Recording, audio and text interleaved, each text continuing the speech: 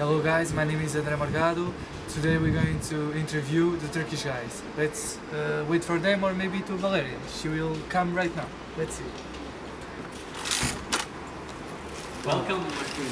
Not Valeria. Ah. My name is André Morgado and today I'm here to interview uh, my friends. They're from Turkey and they are doing Erasmus on Universidade Europeia. So let's see what they have to say. So hello Tagor, how are you? I'm fine, and you? Yes, good. Uh, tell me something about yourself, about Turkey. Uh, I'm from Turkey, you know, and I'm from Izmir, but I'm living in Eskişehir in Turkey. Uh, I'm living with my family because my university is there, and um, my department is business administration. So that's very So uh, one good question is about the uh, clothes um, in the bodies of uh, Turkish people. That uh, sometimes people in Portugal think that uh, they dress uh, burra. Burra it's uh, burka in Portuguese, and uh, I think that it could be for a good example.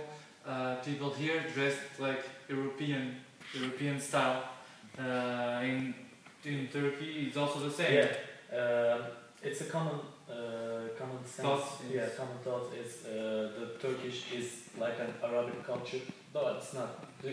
People think that because of our religion, we are also Muslim, but uh, it doesn't. It doesn't uh, make every people uh, So much who, who, who believes in uh, God. God uh, that dressed like the uh, burqa or burqa.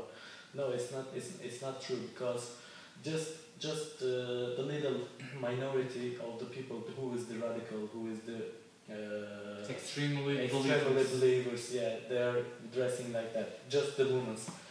Uh, and the guys, the mm, Big bear. big beard and mustache and uh, like uh, strange The hat. strange hats uh, on the on their heads.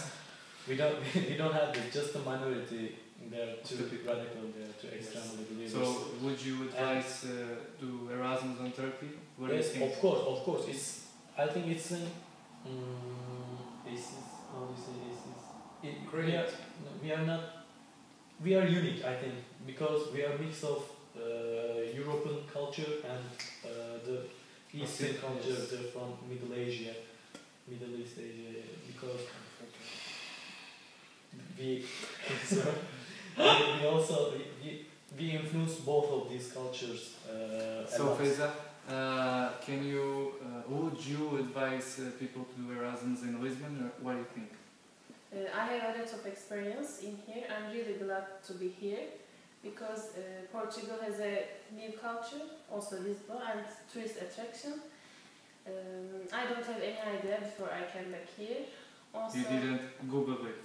yes, I didn't search too much, but uh, Portugal has a lot of uh, distinctive, distinctive architecture, the various foods, interesting music festivals, and a lot of social activities.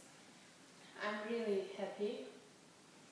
Uh, also, uh, people are really, really help, helpful and really friendly. I'm really glad to be here. That's good to know. And uh, what about uh, uh, Turkey? Would you also advise people to do Erasmus in Turkey?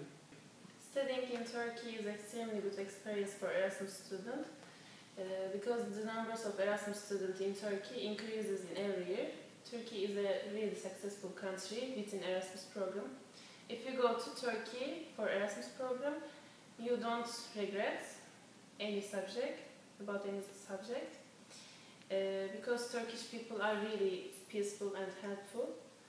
Uh, do you have uh, if you have any problem, you can solve and you can Solve peacefully uh, Yes. the problem. because the most Yes. prominent feature of Turkish people are to be peaceful environment and uh, and to Yes, helpful, Yes, like we helpful. said, yes.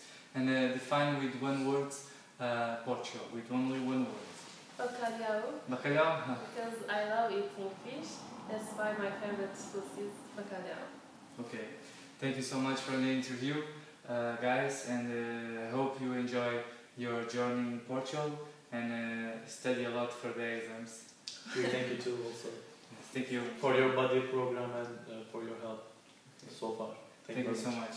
So um, during next month, I will try to uh, interview other Erasmus students and uh, stay with us. See you later, guys.